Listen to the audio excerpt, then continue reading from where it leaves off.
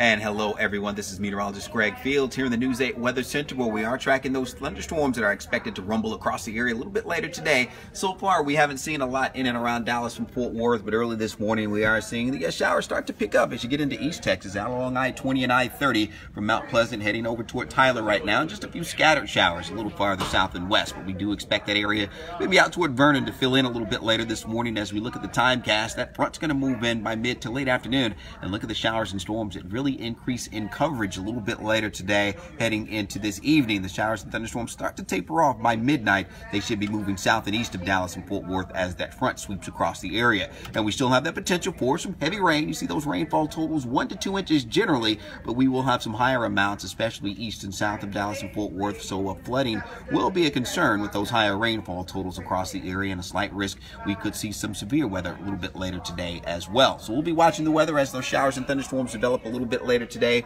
Once the rain moves out, some much cooler temperatures move in for the weekend. We may dip into the 40s for the first time this fall season, more throughout the day.